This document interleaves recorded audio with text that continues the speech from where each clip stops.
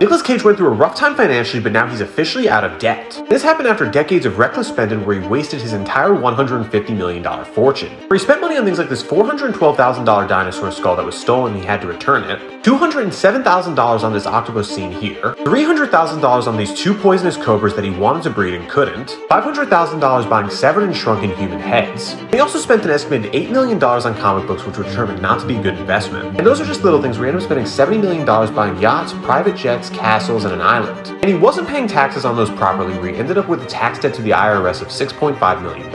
And to make it worse, his opportunities were going down where people weren't paying him for big budget movies anymore. In the 2000s when he was at his prime, he was making $20 million a movie. In the late 2010s, desperate to pay off his tax debt, he was doing roles for as little as $50,000. To pay off his tax debt, he ended up doing 5 to 8 direct-to-streaming movies every year. It worked out for his benefit where some of the movies like Pig were popular and helped to reboot his career. So now he's debt-free and proud of his lower budget movies.